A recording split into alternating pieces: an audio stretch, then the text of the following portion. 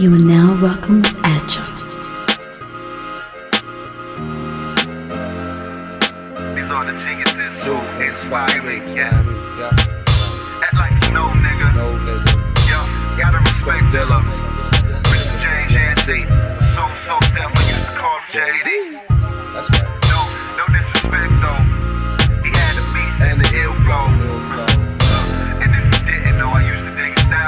Um, well, main ingredient kind of has a lane that we take and, and we keep here musically.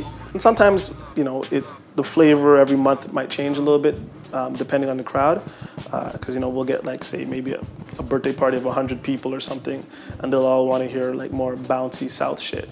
So th- that's not really our lane, but at the same time, we can't ignore, you know, a large portion of people like that. So maybe we'll splash a little bit of that in. But the stuff that trans translates to what we do, right? It's more soulful stuff. It's more uh, soulful hip hop, R&B, soul music, uh, reggae, like more soulful reggae. Not really the dance hall stuff. I mean, there seems to be a lane for us in Toronto, which is great. Um, we just kind of appreciate like having that lane and you know the crowd the crowd taking our lead sometimes and following us like you know like I'll play records here all the time and risk I'll just look over at Juan who's on the mic and I'm like no response for this one but I don't care. Like I remember all of the lights by Kanye came out two days before a main ingredient and I played it. And there was like eight people going crazy including me and Juan and it's just that I mean like it's just that forum for us. We like we want to break records we want to play records early and first. And we don't care if you don't know it yet because we're gonna play it here first. And maybe like a month or two later you'll be like oh I heard that at main ingredient a month ago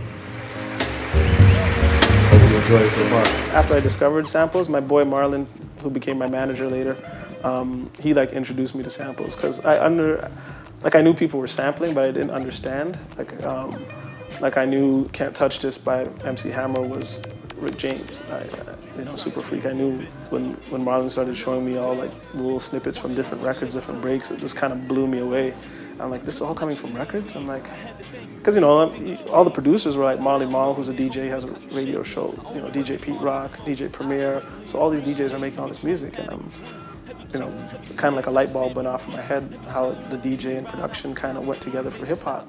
I'm like, oh, okay, this makes sense. So then, you know, I raided my parents' collection of records and my uncles, and you know, started with those old records, and then started buying and going shopping with Marlon and Roland and digging for, for records, and that's kind of how I got into production. I was skeptical on doing a Dilla mixtape just because so many have been done, and I'm like, I just, I don't want to follow the herd, right?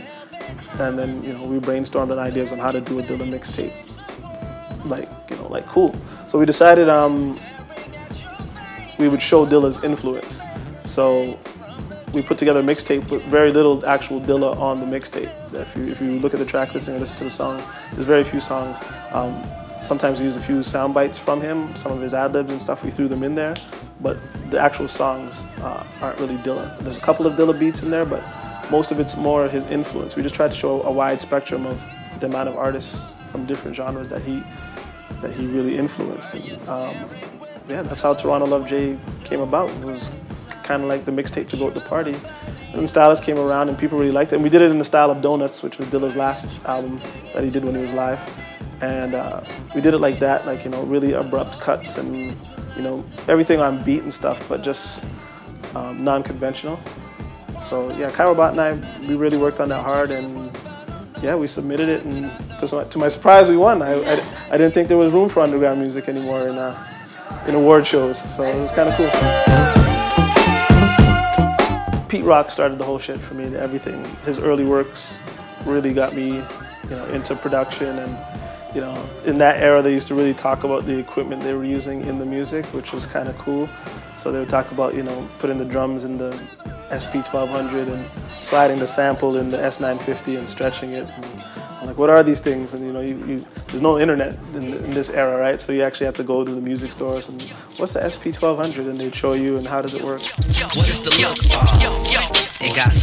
But I, I mean, I try to be complicated in a, in a simple way. You know, I just more layers and like more depth to my stuff. I, I think the job as the DJ is to play for the dance floor first, first and foremost, right? You might think you're getting a highbrow crowd, and they show up and it's all pop people. They want to hear Katy Perry.